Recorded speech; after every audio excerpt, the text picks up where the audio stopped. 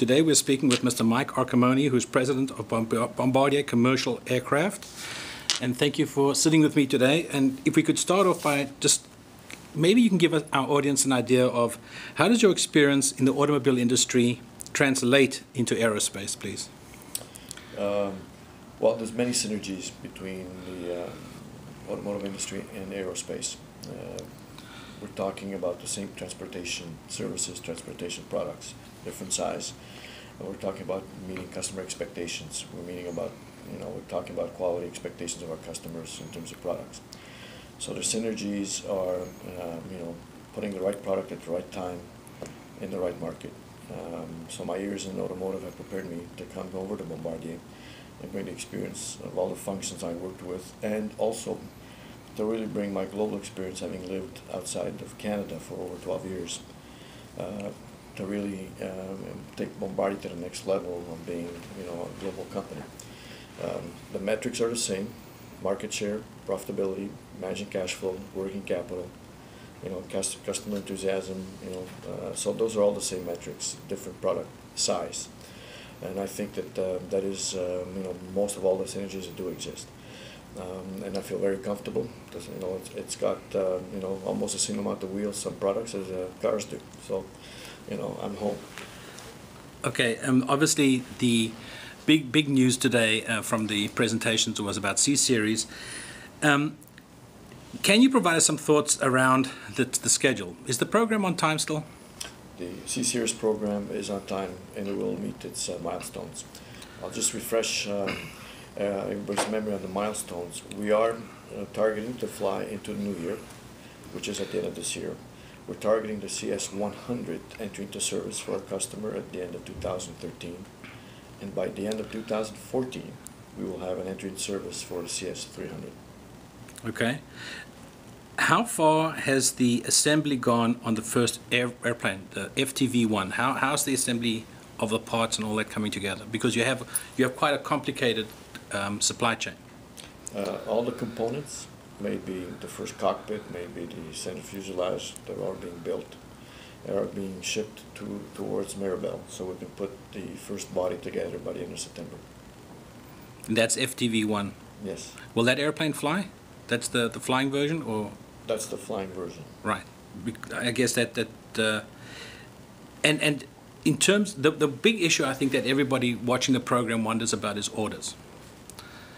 Um, how do how do you think orders will flow? Do you think orders are, are going to likely to flow more aggressively once people see the first airplane? They see it fly. Well, currently we have 11 customers. You know, we have uh, orders for 317 aircraft. And if we look at what our competition has done in the past, about 18 months before entry to service, we are just about where we want to be. Uh, and we're continuing to work towards our objective, which is about uh, 20 to 30 customers, global customers. We want to have a global diversification. And the fact that we will be flying the plane to the new year and that we are moving towards meeting our targets, it just reaffirms to our customers that we are on target. Okay, now CIASTA is obviously being critical in terms of enabling Bombardier to do parallel tracks on, on the process of building this airplane. What has the CIASTA validated so far? Well, CIASTA, uh, first of all, is something unique to Bombardier. That we are actually validating our major systems. Maybe um, the hydraulics on what we call the Iron Bird, those get validated at CIASTA. So this is a you know living piece of equipment.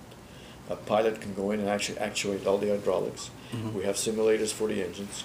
We have simulations for not simulation, but you can actually actuate the landing gear all of these processes get done in CIASTA.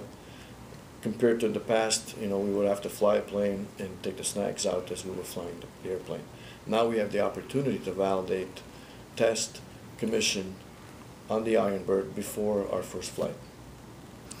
And in the presentation this morning, there was a strong um, push on the awareness of how China is becoming the second largest aircraft market.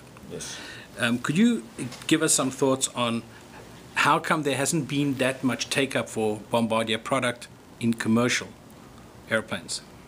Uh, China uh, represents a, a great opportunity for Bombardier to sell not only the C series but the, the rest of our product portfolio, maybe CRJs and Q400. We have begun penetrating uh, China with uh, order from um, uh, China Express on CRJs. We're very pleased, and we're continuing having discussions with the major airlines and lessors in China, and we just have to be patient that this will bring fruit.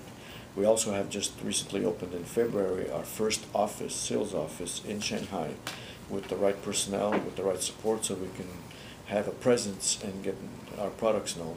We also have uh, brought the Q400, for example, as a uh, world tour continued. We went into China, so we've exposed our products, things that we didn't do in the past, that we're doing now more aggressively, uh, to you know really look at the opportunity this country presents.